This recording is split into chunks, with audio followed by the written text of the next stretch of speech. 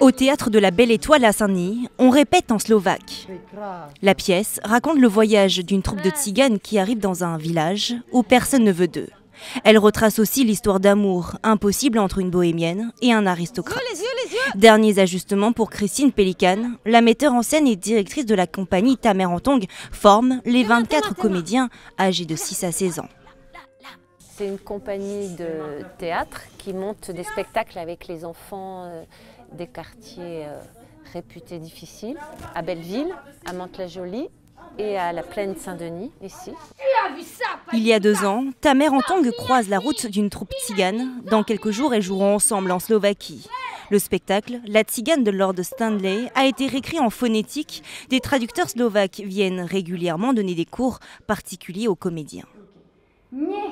Chcemy. Niech chcemy. Tu, tu doucement. Nie chcemy. Niech chcemy. Parfait. La pièce parle d'un sujet universel, le rejet des autres. villageois qui sont vraiment des caricatures hein, euh, ont peur de ces gens différents qu'ils ne connaissent absolument pas. Et c'est là aussi le message de la pièce.